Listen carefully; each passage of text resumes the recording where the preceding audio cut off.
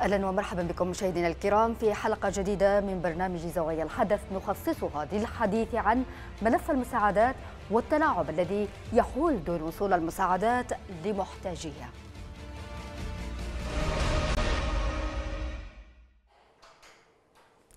قال برنامج الغذاء العالمي إن مستويات انعدام الأمن الغذائي التي تنذر بالكارثة انحسرت وشهدت تراجعا في 29 مديرية من أصل 45 مديرية مصنفة على أنها الأشد تضررا من الجوع.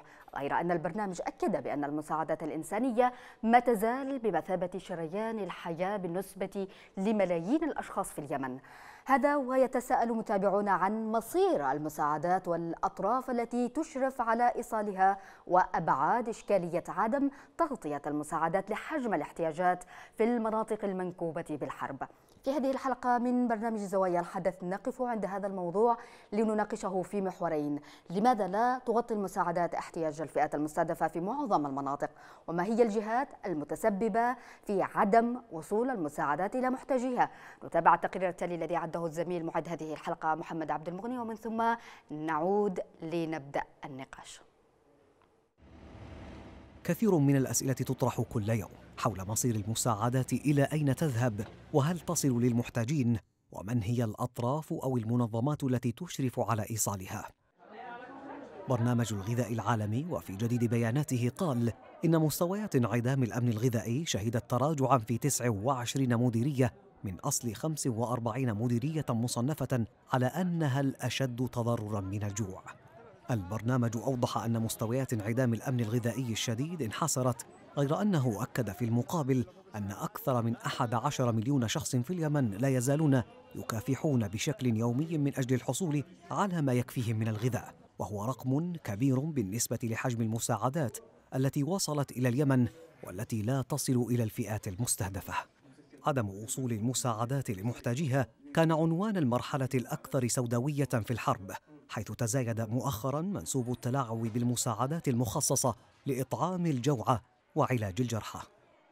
مصادر مطلعة قالت إن هذا التلاعب يحدث في مناطق سيطرة الحكومة الشرعية وبالأكثر في مناطق سيطرة ميليشيا الحوثي الذين وضعوا أطرافا تابعة لهم تنظم آلية توزيع الأموال والمساعدات. برنامج الغذاء العالمي وفي وقت سابق قال إن الحوثيين يعرقلون بدء العمل بنظام القياسات الحيوية الذي يهدف لتحديد الأشخاص المحتاجين وهذا النظام يتضمن عمل مسح لقزحية العين وأخذ بصمات الأصابع والوجه لضمان وصول المساعدات لهم.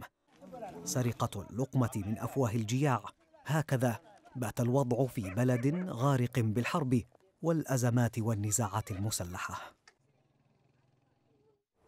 أهلا بكم من جديد مشاهدينا الكرام ونبدأ الحلقة مع ضيفنا الأول الذي ينضم إلينا من عدن جمال بالفقيه منسق اللجنة العليا للإغاثة. مرحبا بك سيد جمال وبداية أنتم في اللجنة العليا للإغاثة ما هي آخر الإحصائيات وأيضا المعلومات المتوفرة لديكم حول الوضع الإنساني والإغاثي في اليمن؟ بسم الله الرحمن الرحيم. آه نشكر قناة بلقيس ونحيي ضيفكم الكريم والمشاهدين جميعا. آه الحقيقة ملف العمل الإنساني والإغاثي بشكل عام آه يمر كثير من من من عقبات كثيرة في عملية إيصال مساعدات المواطن لأسباب كثيرة. أولا 80% آه، من المساعدات الإغاثية توصل لمن الحديدة ومنها تتم توزيعها عبر عبر من الحديدة لجميع من المديريات التي تحت سيطرتهم.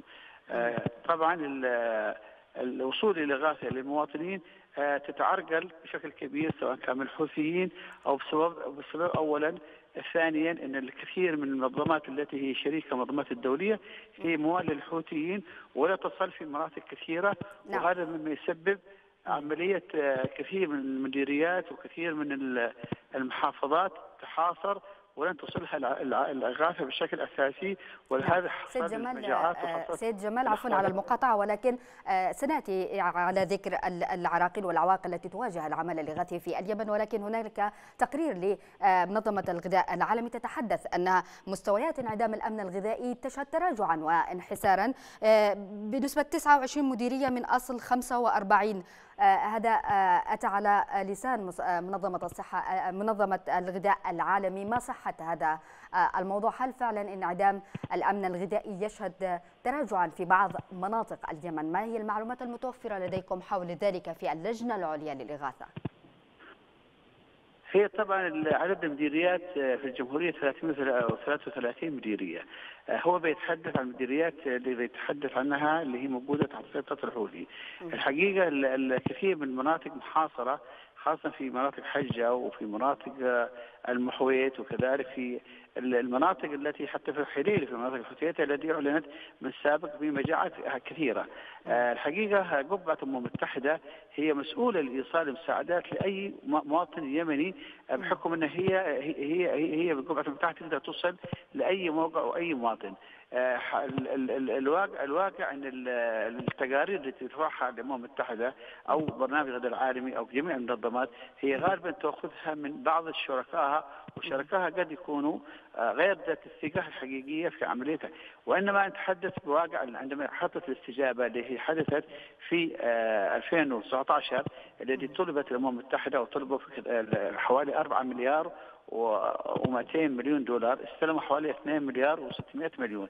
هنا عندما نتحدث حسابيا إن المبلغ الذي استلمه ال 2 مليون الذي خطه استجابه 2019 2 مليون 100 مليون دولار هي طبعا نص المبلغ الذي هم طلبته الأمم المتحدة في خطه استجابه 2019 فمعناته أن ال 23 مليون الذي هو بحاجة لغذاء نقص إلى حدود 12 مليون. الميزانيه التشغيلية وكذلك عملية دفع مرتبات الموظفين في حدود 40% إذا توصل للنص 80% توصل. إذا عندما نتكلم على عدد الناس المستهدفين لا يزيد على 3 و4 مليون شخص مواطن توصل إليه الإغاثة في خلال الفترة الماضية. برغم ان إعلان برنامج الغذاء العالمي أو أو, أو الأمن الغذائي أنهم سوف يستهدفون في 2016 في 2019 12 مليون شخص. وهذا العمل وهذا الكمية اللي بتوصل إليهم في المناطق المحررة هي هي بتوزع عن طريق برنامج الغذاء العالمي وبرضه عن شركاء برنامج الغذاء العالمي. ونحن في اللجنة الغاثه لم يتم التنسيق معنا. ممكن يتم إبلاغنا بانها ستوزع هذه الغاثات في في عدة أماكن في ال في في ال في, ال في المديريات والمحافظات المعنية كل شهر ويتم التوزيع إليها. لكن لكن لا توجد يعني شفافية في عملية رفع التقارير. هل استلمت أو ما استلمت؟ هل في بعض الناس يعني في كثير من الشكاوي توصلنا إنه كثير من المحافظات لن يكون العدد كافي لإيصال لإيصال المواطنين يعني الذي هو حتى حسب تقرير الأمم المتحدة أو تقرير الأمن الغذائي والفاو بأن بأن الاغاثه توصل إليهم. ولهذا نقص الشفافيه في عملية اصدار البيانات المستمرة سواء كان في للجنه العليا للاغاثه أو حتى للتخطيط أو حتى بشكل شفاف للمواطن عشان يعرف كل إنسان إن الاغاثه هذه يكون محددة إنها ستوصل لمديرية معينة أو محافظة معينة الاشخاص المستهدفين والأشخاص المستهدفين ويكون في دائما تحديث باستمرار لاعاده البيانات بالتنسيق بشكل عام الإيصال بشكل عام وهذا تحصل الخلل بعدم التنسيق وعدم التنظيم في العمل الإنساني والغاثي. نعم إذا سيد جمال تكرم بالبقاء معي واسمح لي لأن أشرك معنا في الحديث الناشط المجتمعي الذي ينضم إلينا من ألمانيا فداء يحيى. مرحبا بك فداء. أنت ومجموعة كبيرة من الناشطين والصحفيين قدتم تحركات كثيرة ضمن حملة أين الفلوس لمطالبة منظمات الأمم المتحدة بالشفافية ونشر تقاريرها إلى أين وصلتم بذلك؟ كيف كان رد الفعل؟ هل تلقيتم أي استجابة أي تفاعل من قبل أي جهة نحو مطالباتكم؟ أهلا وسهلا مساء الخير. أهلا بك.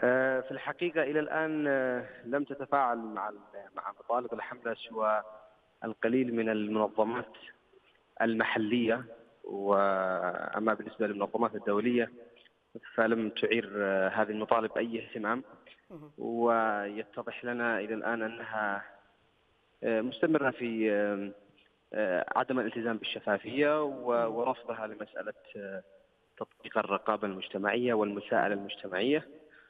وقمنا بحضور العديد من الفعاليات مؤخرا نظمتها بعض هذه المنظمات الدولية. طرحنا لهم أسئلة بشكل مباشر وتحدثنا مع ممثلي هذه المنظمات. وعدونا بأنه يتم تطوير أو تحسين أداء المنظمات يعني ممثلي المنظمات العاملة في اليمن ونحن على استمرار والتواصل معهم لكن إلى الآن لم يوجد أي تجاوب فعلي لهذه المطالب. نعم فداء تهرب منظمات الأمم المتحدة من نشر التقارير كما وصفتموه أنتم في الحملة إنه هو دعم للفساد، كيف يمكن إجبار هذه المنظمات على أن أن تكون نشر تقاريرها من ضمن الشروط من قبل المانحين، أين هو دور المانحين لإجبار هذه المنظمات على الشفافية ونشر تقاريرها في العمل الإغاثي في اليمن، ما هي الطرق التي يمكن دفع بها هذه المنظمات؟ الاستجابة؟ في الحقيقة أننا تواصلنا مع المانحين في إحدى في إحدى مراحل الحملة، الحملة هذه مرت بعدة مراحل.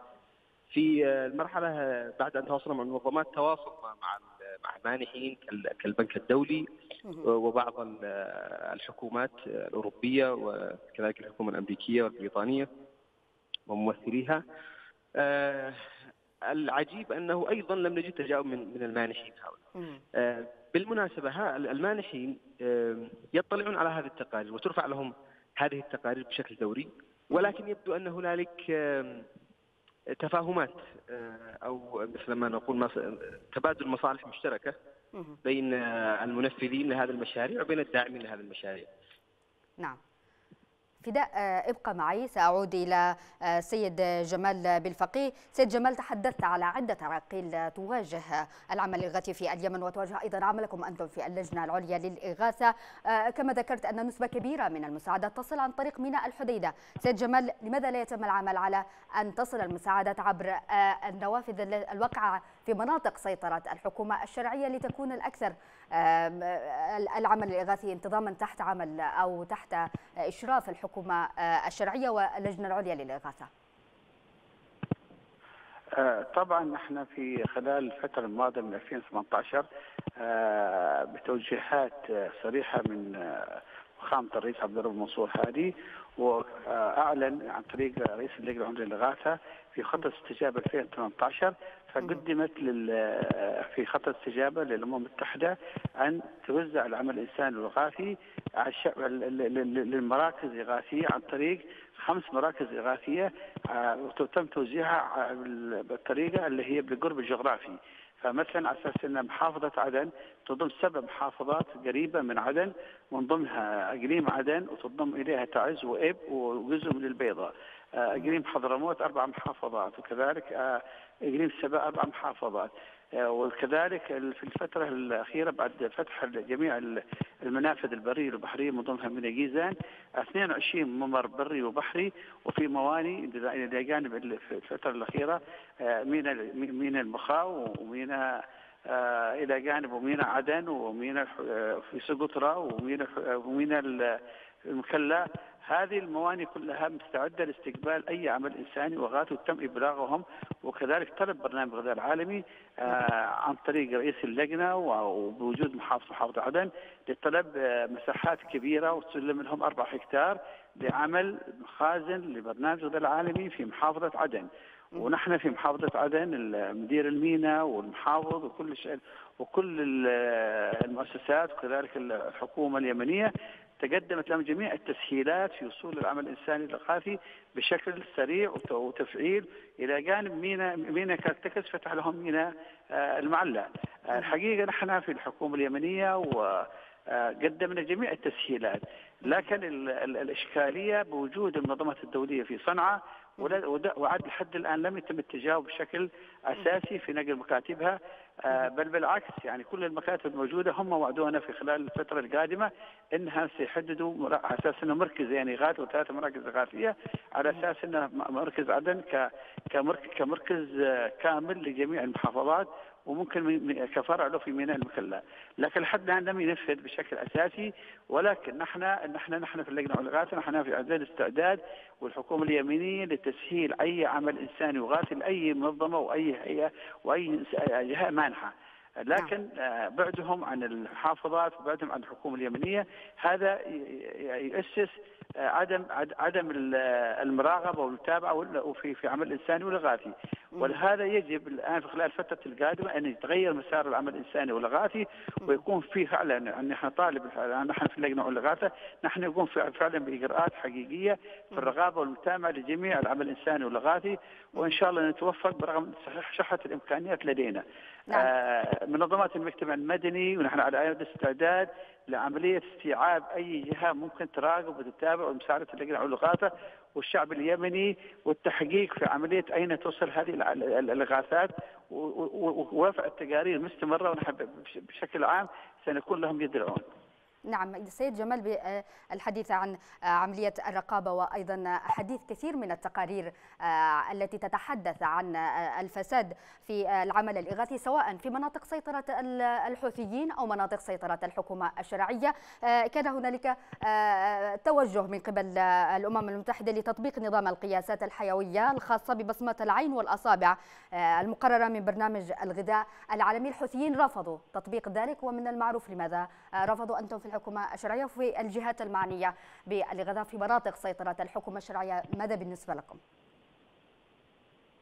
آه، طبعا بالنسبة نحن سحنا أهم عمليه آه، تطبيق بصمة العين آه، بدأت في كثير من المحافظات وطبقت في البداية في عدن وانتقلت الآن للمكلا وانتقلت في كثير من الأماكن الموجودة لكن هي لا زالت في سير عملية التطبيق بشكل عام.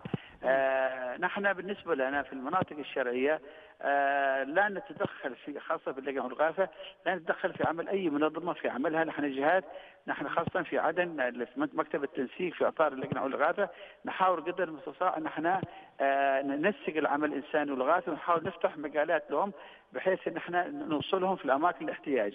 آه، لأن يعني عندما نتحدث عن رسائل العمل نحن لا نستلم إغاثات ولا نوزع إغاثات وإنما كل محافظة في في في من محافظات الجمهورية عملنا آه، لجان فرعية برئاسة المحافظ لتسديد برضه الصعوبات. لكن لكن الحقيقة إن لما نتحدث على كيف تتم توزيع الإغاثات في المناطق المحررة هي تمر عبر شركائهم. الأمم البرنامج الغذاء العالمي توجد عنده شركاء موجودين يتم توزيعهم على المحافظات المحررة وهم من خلالهم آه، توزع العمل الإنساني والإغاثي وكذلك سواء المركز سلمان عنده شركاء آه، الهلال الأحمر الإماراتي آه، عنده فريق عمل هو يوصل إلى جميع الأماكن اللي هي مستهدفة حسب فريق عمله. الهيئة الكويتية كانت توجد عندها كذلك شركاء اللي هي يسموها الهيئه الجمعية الكويتية وإنما ممكن في خلال الفترة القادمة هي فتحت مكتب ممكن تنظم العمل عن عن طريق اللجنه والغاثه أو عن طريق شركاء آخرين. لكن نعم. بشكل عام نحن نحاول قدر المستطاع إن إحنا نكون متواجدين ونكون فاعلين لأن حتوجد لنا الجزره لا يوجد لنا العصا هي لجنة لا بجدها سواء إنها آه تتعامل معهم ونحن بصف المواطن لتوصل للعمل الانساني والاغاثي آه ونحن نحاول نتعرض أحيانا بكثير من الإحراجات لأن لم يكن لنا يد في عملية تسيير العمل الانساني والاغاثي. نعم إذا السيد جمال بالفقي منسق اللجنة العليا للإغاثة كنت معي من عدن. شكرا جزيلا لك. شكرا لك سيدي أنك كنت معي ضيف في هذه الحلقة. إذا بالعودة إليك آه، سيد فداء. آه، نشر نشطاء وصحفيين آه، صور وتحدثوا عن عشرات الأطنان من المواد الغذائية منتهية الصلاحية لمنظمة الغذاء العالمي التي تحرق في مدينة الحديدة وهي ليست المرة الأولى حقيقة فداء التي يتم فيها إتلاف كميات كبيرة من من المواد الغذائية آه، الواصلة إلى اليمن كإغاثة. بهكذا تهدر تكون ملايين ملايين الدولارات المقدمة من المالحين المانحين برأيك في دم من المسؤول عن ذلك؟ آه هذا الإهدار الذي رأيناه مؤخرا ما هو إلا جزء بسيط من آه أو آه جزء بسيط من من إهدار الملايين من الأموال التي وصلت كمساعدة اليمن. هذا هو ما ظهر فقط. غياب الشفافية كما قلنا سابقا والرقابة المجتمعية هو السبب في ذلك. الإشكالية الكبيرة هي أنك تجد أن الأموال هذا متحكم بها مجموعة موظفين.